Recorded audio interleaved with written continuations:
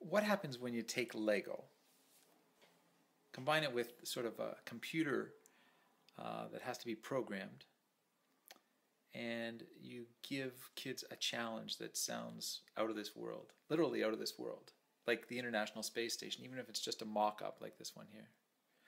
And you say to them, you know, you need to design something out of Lego that can go into this site and navigate it. When you press go, it has to find its way. When you press go, it has to find a source of heat and extinguish a flame. When you say go, it has to pull on a cable and rescue someone who's lost in that particular environment. We've done this with kids, and we know that it works wonders. Um, young people take on the roles of team leader, where they have to coordinate a team of four people in problem solving. Everything from designing a logo for your team to designing the robot, programming it, figuring out how to get the sensors to work, and then publishing your findings on a web page.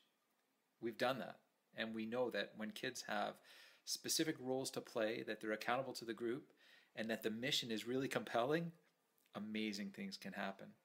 Uh, it's just one of many uh, ways they use project-based learning in order to engage young people to work together to see what's possible when they network together. And I believe the same is true for educators. Uh, when they discover the power of working together as opposed to working behind a closed door in a classroom, incredible things can happen. And today's technology makes it easier than ever for those teachers to collaborate and work together. It's just a shame that we're not so good at it. Uh, our school board recently launched uh, the new Learn 365, Office 365 online environment.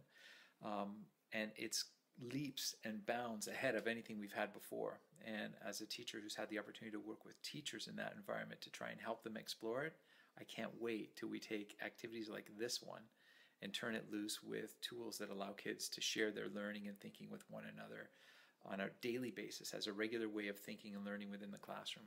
It's something we already should be doing. Some of us are, and if you're not, you should be along for the ride.